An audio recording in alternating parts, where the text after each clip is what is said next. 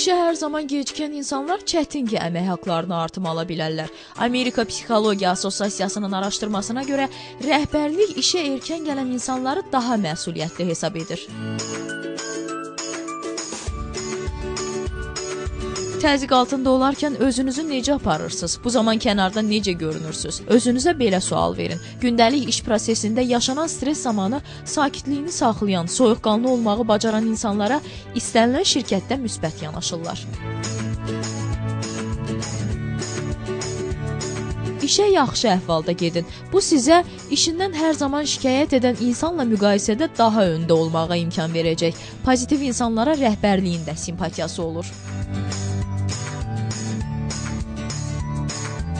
İşdə bir fincan çay və ya qəhvə içərkən həmkarlarınızla söhbəti uzatmaqdan çəkinin.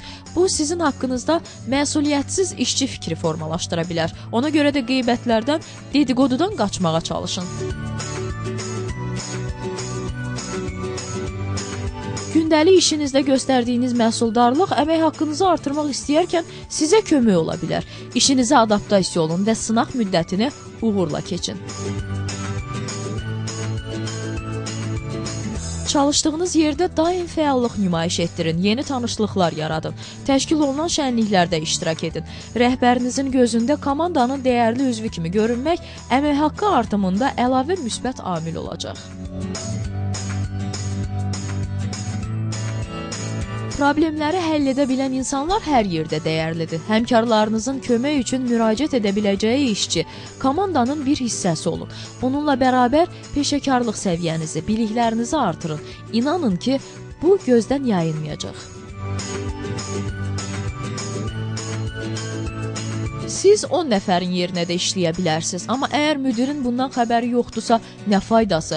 Daim rəhbərliklə ünsiyyət yaratmağa, gördüyünüz iş barədə onu məlumatlandırmağa çalışın. Xüsusən də əgər bu vacib bir layihədirsə.